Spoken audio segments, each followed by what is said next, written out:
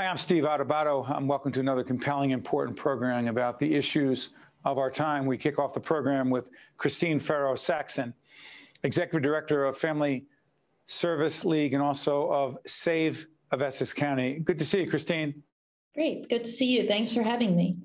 Our pleasure. SAVE stands for Sexual Assault and Violence Education Program. Let's talk about it directly. What is it and why does it matter as we move into the spring season of 2021 post COVID a year plus in? So, we are the designated sexual violence program for Essex County. Every county in New Jersey has a sexual violence program. So there's 21 and Rutgers University. So we provide an emergency hotline um, that is 24 7. Hold we on one provide, second. Can we bring up the hotline as you speak? Could you say what it is? It's 1 877 733 2273.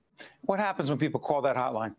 So we actually have the hotline in both Spanish and English. So someone who is looking for information about sexual assault services in our county is looking to get some emotional support from somebody right in the moment. So they are available 24 hours a day, seven days a week, our advocates via these hotlines. Um, with that, also, we also go to the hospitals, um, emergency departments, as well as to the police departments to help through the evidence collection process and all of the reporting when somebody is sexually assaulted. You know, COVID has impacted every aspect of our life.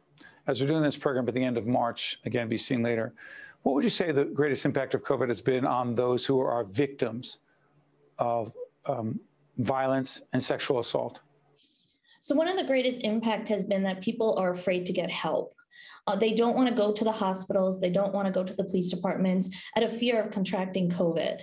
Um, we've also, people are quarantined at home with their abusers. There's been high levels of domestic violence occurring and the sexual assaults that occur within the context of the domestic violence relationship. So people are at home with their abusers and they cannot really access the help they need. Um, so that's been a challenge to provide these services during the pandemic to convince people that these services are available. You know, when we talk about counseling, and your organization provides counseling, right? Yes. What would you say, particularly with victims of violence, sexual assault, people dealing with real serious mental health issues? From your perspective, the difference between virtual counseling and in person counseling?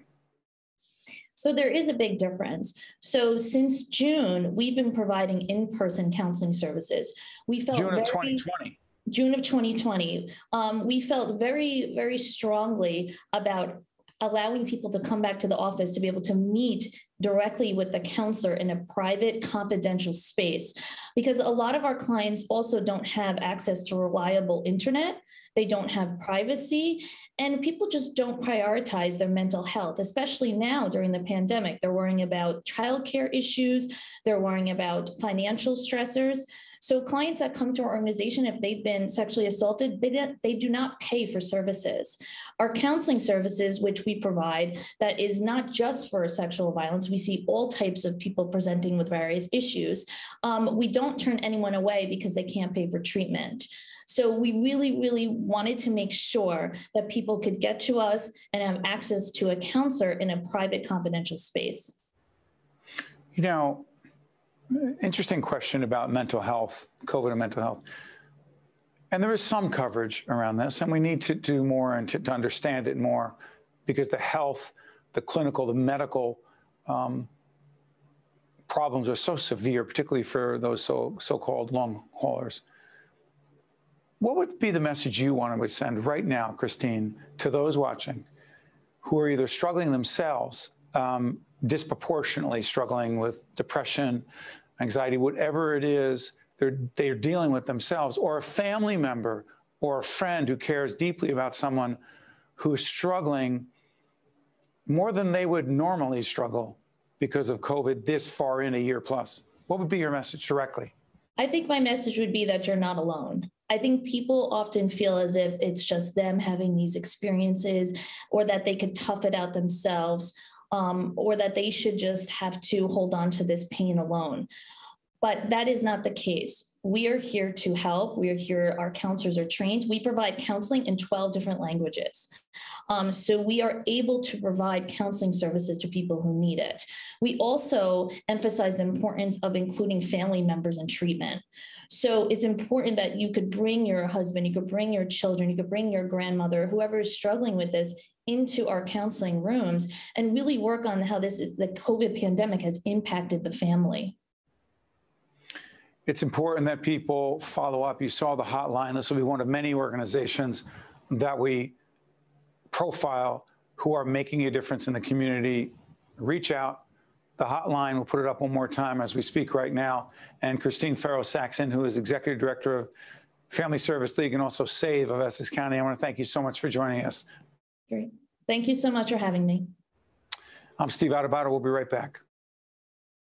One on One with Steve Adubato has been a production of the Caucus Educational Corporation. Funding has been provided by the Healthcare Foundation of New Jersey, Holy Name Medical Center, Caldwell University, PNC, Grow Up Great, the Robert Wood Johnson Foundation, New Jersey Sharing Network, Summit Health, PSE&G, and by Newark Board of Education. Promotional support provided by the New Jersey Business and Industry Association and by NorthJersey.com and Local IQ, part of the USA Today network. Data shows that many patients have avoided seeking critical health care in the wake of COVID 19 for fear of contracting the virus. Delaying medical care can have serious consequences, so you should never second guess or ignore your symptoms. At Holy Name Medical Center, we have measures in place to prevent infectious disease from spreading. We're clean, we're open, and we're safe for all your healthcare needs.